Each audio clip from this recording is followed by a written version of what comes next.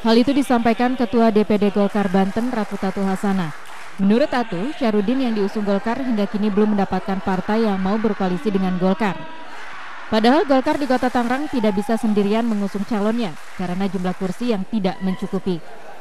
Tatu menilai Syarudin jalan di tempat dan belum memberikan kepastian secara resmi, padahal November ini harusnya sudah ada koalisi dengan partai lain. Tatu mengancam jika Syarudin tidak mampu mencari partai koalisi, rekomendasi bakal dicabut dan akan diserahkan ke kader Golkar lainnya.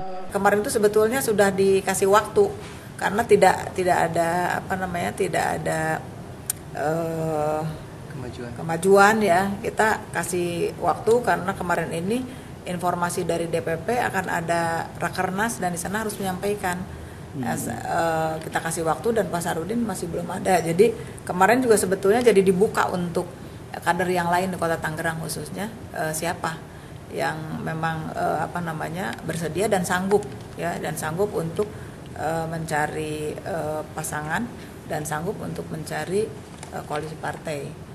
Makviro, Kabupaten Serang melaporkan untuk CTV Network.